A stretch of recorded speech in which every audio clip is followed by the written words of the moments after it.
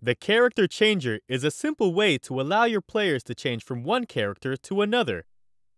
Grab one from the gameplay page of your tools bag and place it in the world with the Action button. A character changer won't do much without a character to change into, so open up its tweak menu with the menu button and select the character to spawn as tweak. From here, select a character from your characters page by highlighting it and pressing the action button. Now you can change into that character by standing in front of the character changer and activating it. If you want more than one character in your character changer, activate the multiple characters tweak and add a second character, same as the first. Now you can change between them by activating the character changer repeatedly.